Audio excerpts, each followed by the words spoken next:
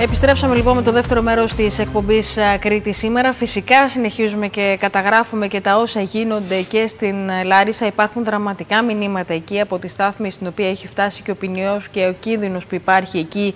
Ε, μάλιστα, ήταν δραματική και η έκκληση του, του Δημάρχου Λάρισας για την επικινδυνότητα που υπάρχει. Ε, Α ελπίσουμε, ξαναλέμε ότι ο αριθμός των νεκρών είναι στους 11. Α ελπίσουμε να σταματήσει εδώ ο μακάβριος αυτός απολογισμός. Δυστυχώς οι εκτιμήσεις και οι φόβοι παραμένουν.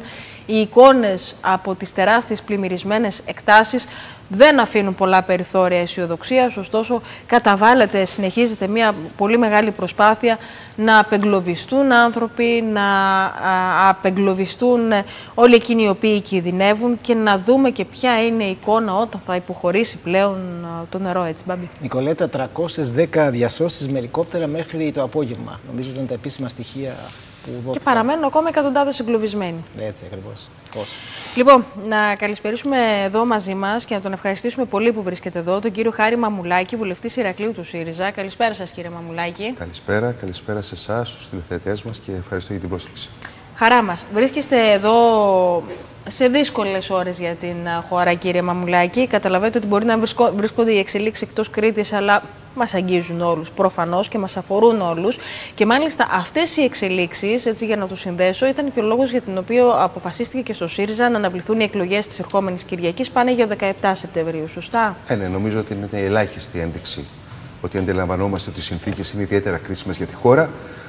Αντιλαμβανόμαστε ότι η κατάσταση που είναι ακόμα σε ασάφεια όσον αφορά τις επιπτώσεις σε, σε κόστος ανθρώπινων ζώων, αλλά και σε περιουσιών και σε υποδομών είναι τρίπτυχο αυτό που βάλετε αυτή τη στιγμή. Προφανώς ο ανθρώπινος παράγοντας κυριαρχεί, αλλά υπάρχουν περιουσίες επίσης των συμπολιτών μας και υπάρχουν και οι υποδομές, οι δημόσιες υποδομές, οι οποίες ευλήθησαν και ακόμα βάλλονται. Βλέπουμε τη Στυλάρισα, όπως είπατε, το φαινόμενο ακόμα σε εξέλιξη. Η στάθμη του ποινιού, η ανώτατη στάθμη λειτουργίας ανεβαίνει, πλησιάζει μάλλον επικίνδυνα. Και αν μη τι άλλο, είναι ένα μεγάλο ζήτημα το τι κάνουμε τώρα Χρειάζεται μια αξιολόγηση φυσικά γιατί φτάσαμε εδώ. Mm. Προφανώς μιλάμε για, για φαινόμενα της, ότι η, η, η, εγκληματική αλλαγή, η κλιματική κρίση προφανώς έχει έρθει. Μας χτυπάει την πόρτα, το βλέπουμε αυτό, αλλά το ζήτημα είναι και τι κάνει και η πολιτεία και η εκάστοτε κυβέρνηση για να θωρακίσει τους συμπολίτες μας, όλους μας, από, τις, από την απειλή της ε, κλιματικής ε, κρίσης. Και εδώ νομίζω ότι υπάρχουν ζητήματα σοβαρά. Θα μου πείτε, είναι καλό βέβαια να κλείσει ο κύκλος του φαινομένου για να δούμε με, με ψυχραιμία και να αξιολογήσουμε τα δεδομένα. Αλλά όμως... να γίνει όμως αξιολόγηση σωστή, κύριε Μαουλάκη. Αν μη τι άλλο, διότι αν δεν γίνει και τώρα, δεν έγινε και στον Ιαννό το 20. Δεν έγιναν και άλλα, άλλα φαινόμενα τα επόμενα χρόνια και βλέπουμε την επαναληψιμότητά τους. Ε, δεν αντέχει ούτε η κοινωνία, ούτε οι πολίτες, ούτε η ίδια η χώρα επανάληψη τέτοιων φαινομένων. Και επειδή είναι μια πραγματικότητα η κλιματική κρίση, και να το ξεκαθαρίσουμε αυτό, γιατί κάποιοι νομίζω κινδυνολόγοι, τέλος πάντων ε, conspiracy theory, που υποστηρίζουν θεωρίες συνωμοσίας, πιστεύουν ότι δεν υπάρχει κλιματική κρίση, θα σας πω το εξής.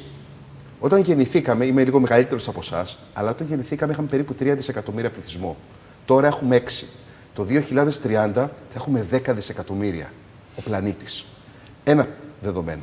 Επίσης, από τη δεκαετία του 80 μέχρι σήμερα έχει ανέβει 1,5 βαθμούς η μέση παγκόσμια θερμοκρασία. Επιπτώσεις της αύξησης του 1,5 τις βλέπουμε τώρα. Πύκνωση ακραίων φαινομένων. Λέγεται ότι μέχρι το 2030 και θα αποδειχθεί θα ανέβει μόλις μισό βαθμό ακόμα σε ένα ευίωνο σενάριο. Μπορεί και 1,5. Οι επιστήμονες λένε δεν γνωρίζουμε. Μπορεί και κάθε μέρα να έχουμε φαινόμενα βόλου και καρδίτσας. Το αντιλαμβάνεστε αυτό; Είναι πιθανός, πιθανό, πολύ, πολύ πιθανό σενάριο. Τι θα συμβεί; Τι θα συμβεί σε εμάς. Και ξέρετε, η αύξηση θερμοκρασίας, ε, προηγουμένως το, το λέγαμε και λίγο πριν ξεκινήσει η εκπομπή, Νοτιοανατολική Μεσόγειος. Επειδή δεν είναι ωκεανός, είναι ρηχή θάλασσα, η, αυξ, η αυξανόμενη θερμοκρασία και οι παρατεταμένοι καύσονες που τους είδαμε του, του θέρους εξατμίζουν τη θάλασσα. Ανεβαίνει λοιπόν το, το, το, το υδρατμή σαν νέφο και το νέφο τιμωρεί με κατακλυσμία ε, επεισόδια ενώ βροχοπτώσεων Όπως για παράδειγμα στον Βόλο, στην Λάρισα, στην Καρδίτσα. Αυτό λοιπόν το φαινόμενο θα κάνει ένα, είναι σφαύλο κύκλος που επαναλαμβάνεται. Άρα εδώ, για να μπορέσουμε να θωρακιστούμε σαν χώρα, χρειάζομαστε σοβαρά έργα υποδομής. Εν προκειμένου, που μιλάμε τώρα για το θέμα των πλημμυρών, ε, αντιπλημμυρικά έργα σοβαρά. Και εδώ χάθηκαν ευκαιρίες για τη χώρα. Και εδώ πρέπει να ασκήσουμε μια σοβαρή και αξιόπιστη αντιπολίτευση. Και αυτό ήθελα να σας ρωτήσω, κύριε Μαμουλάκη, γιατί γνωρίζω ότι ε, πολύ αποφεύγετε τουλάχιστον για αυτές τις ώρες την αντιπολιτευτική κριτική, όμως πρέπει με, να γίνει. Με, με, νομίζω με έναν τρόπο που ε, εναρμονίζεται με τις στιγμές. Συμφωνώ. Και, και είναι καλό να το βλέπουμε και να μην το ξεχάσουμε. Διότι και, τον, και ο Ιαννός ξεχάστηκε και τα άλλα φαινόμενα μετέπειτα ξεχάστηκαν και εδώ, στην Αγία Πελαγία. Έχουμε συγκροτημένο πλαίσιο, λοιπόν, κύριε Μαμουλάκη, για ναι. να αντιμετωπίσουμε τέτοια φαινόμενα. Ένα συγκροτημένο πλαίσιο με το οποίο θα ξεκινάει από τις πράσινες πολιτικές που κάποτε ήταν μόδα, όμως τώρα καταλαβαίνουμε ότι είναι ένα ζητούμενο. Γιατί πριν μερικά χρόνια η πράσινη ατζέντα θεω... είχε θεωρηθεί μια μόδα ναι. στα πολιτικά κόμματα, κακά τα ψέματα. Από την πράσινη λοιπόν ε, πολιτική, σε συνδυασμό με τα έργα υποδομών και σε συνδυασμό και με μια πολιτική προστασία που θα μπορεί να ανταπεξέλθει σε τέτοιου είδους φαινόμενα. Έχουμε δημιουργήσει αυτό το πλαίσιο. Και για να το συμπληρώσω, για να απαντήσετε μαζί και αξιοποιείται ο κόσμος των μηχανικών που είναι εξαιρετικός, νομίζω, επιστημονικά μιλώντας στην Ελλάδα. Νομίζω αυτό είναι κατά κοινή εκτίμηση. Αξιοποιείται σωστά. Δηλαδή οι άνθρωποι που έχουν τεχνογνωσία, αυτό εννοώ. Θα ξεκινήσω ανάποδα από εσάς πρώτα, κύριε Σαββίδη, και μετά σε εσάς, κύριε Σφαγιανακή. Και το λέω ανάποδα, διότι πράγματι αξιοποιήθηκαν οι ανθρώπινοι πόροι, το πλούσιο επιστημονικό δυναμικό που διαθέτει η χώρα μέσω των μηχανικών. Πώς; Με την καταγραφή σε όλη την υπηρετική Ελλάδα και όχι μόνο των λεκανών απορροής. Ξέρουμε αυτή τη στιγμή ως χώρα κανονικά, καθολικά, πού υπάρχει πρόβλημα. Και γνωρίζαμε πολύ καλά για τη Θεσσαλία. Οι μηχανικοί λοιπόν το 2018 κατέθεσαν ένα ολιστικό πλάνο που είναι περιουσία του ελληνικού λαού, της πολιτείας και τώρα η παρούσα κυβέρνηση το διαθέτει, το ξέρει, το οποίο ε, ε, ε, στοχεύει στα αδύναμα σημεία σε, σε περιπτώσεις πλημμυρικών φαινομένων. Ξέραμε λοιπόν και αυτό. Τι Άρα αυτό υπάρχει από το 2018. Βεβαίως. Και βάσει αυτού, αυτής της μελέτης διεκδικούμε πόρους και καλώς διεκδικούμε πόρους και αντλήθησαν οι εξής πόροι. Πρόγραμμα υγιής. 1,7 δισεκατομμύρια από το 2020. Ήταν μετά τον Ιαννό. Ξέρετε ότι δεν έχει απορροφηθεί ούτε ένα σέντ. Γιατί κάνανε διαγωνισμούς φωτογραφικούς, εκρίθησαν άγωνοι και φυσικά πήγαν πίσω όλη η διαδικασία. Και τώρα θα μπορούσαν να έχουν αντιπλημμυρικά έργα. Το άλλο, το άλλο το πιο προκλητικό κατ' εμέ, Ταμείο Θεκτικότητο και Ανάπτυξης. Γιατί λέει ήταν θεκτικότητα για αυτό ακριβώς. Για να μπορέσουν να αντέξουν τα κράτη-μέλη την κλιματική κρίση εμείς το φαινόμενο των πλημμυρικών προκειμένου εδώ ή τους καύσονες, ο Ολλανδός πολίτης, το Ολλανδικό κράτος κάτι αντίστοιχο. Ναι. Δύο δισεκατομμύρια. Γενναία πρόβλεψη γύρω από τα, ε, από, όσον αφορά τους πόρου για, ε, για τη θωράκιση. Ούτε ένα σέντα απορρόφηση. Γιατί πάλι είχαμε τις ίδιες παθογένειες. Πάλι είχαμε ένα διαπλεκόμενο, διεφθαρμένο κράτος που το νους και μόνο ήταν πώς θα, θα, θα μπορέσουν να κατευθύνουν τους πόρου στους λίγους και εκλεκτούς. Αυτό πρέπει να σπάσει. Θέλουμε διαφάνεια παντού και να, οι πόροι να, να τάχιστα να απορροφώνται και να απορροφώνται με διαφάνεια και με τρόπο δημοκρατικό που ο πολίτης να το εγκρίνει και όχι εγκρυπτό. Αυτό είναι ένα ζήτημα που ας μας γίνει μάθημα τώρα, έστω και στο και πέντε. Είναι και μια αναπροσαρμογή της ατζέντας η οποία θα γίνει αναγκαστικά τις, ε, τα επόμενα 24 ώρα και αφού ε, ολοκληρωθεί όλη αυτή η τεράστια προσπάθεια που γίνεται αρχικά για το να διασωθούν ε, οι άνθρωποι οι οποίοι κινδυνεύουν, να δούμε τι γίνεται και με το υλικό κομμάτι και την αποκατάσταση των ζημιών και πώς αυτή η περιοχή θα μπορέσει ξανά να ορθοποδήσει.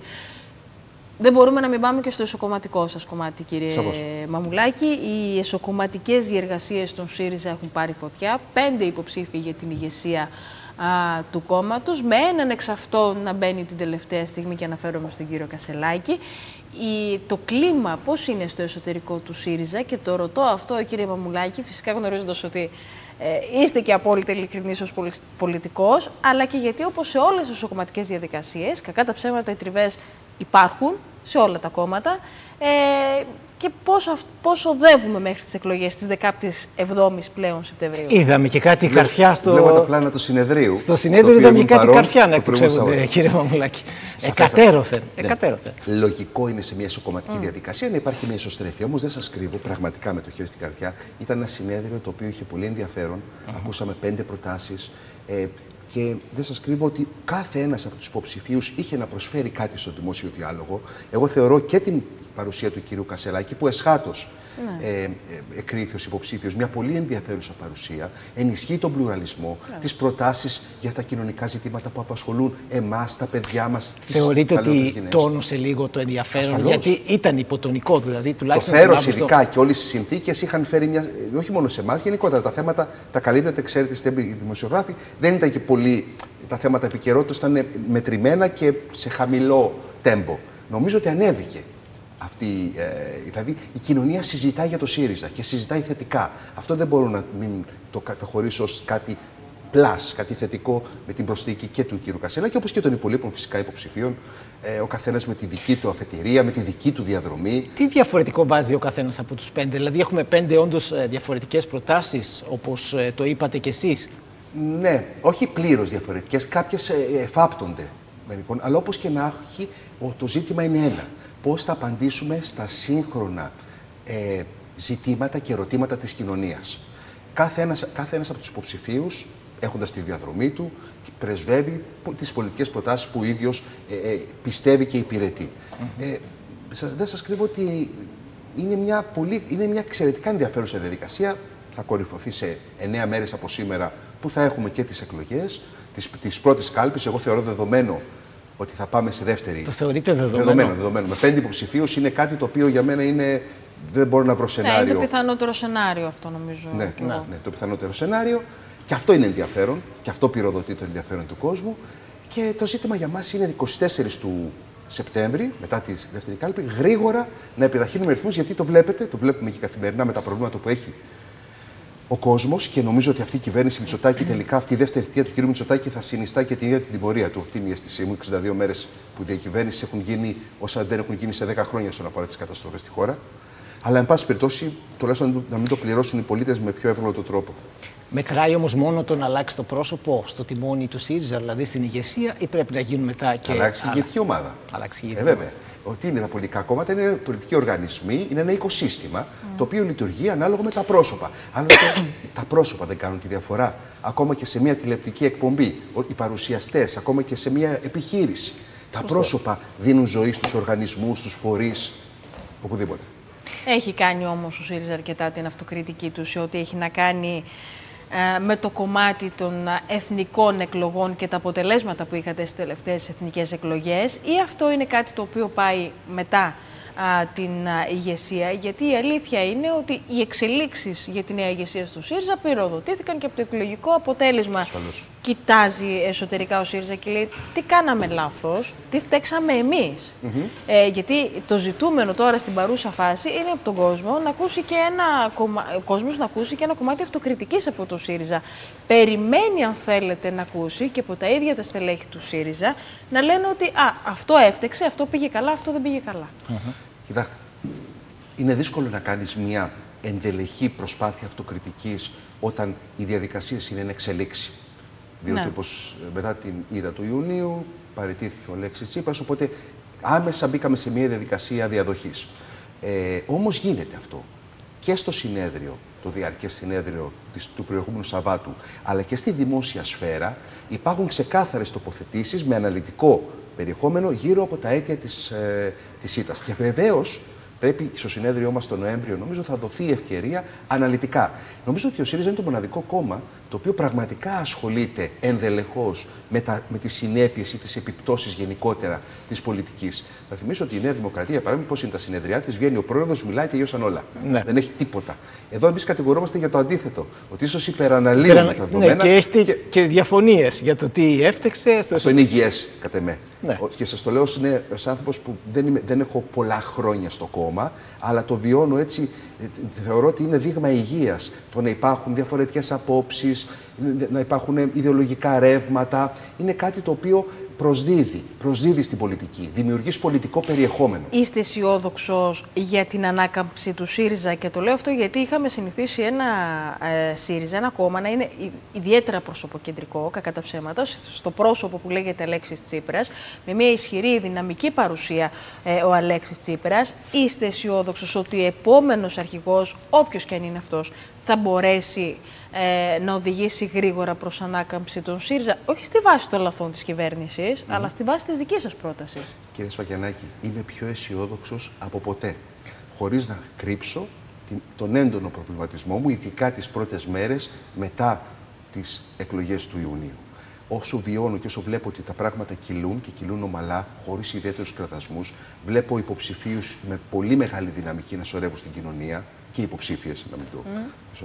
Αυτό μου νομίζω ότι μας προσδίδει βάσιμες ελπίδες για να πάμε δυνατά την επόμενη μέρα.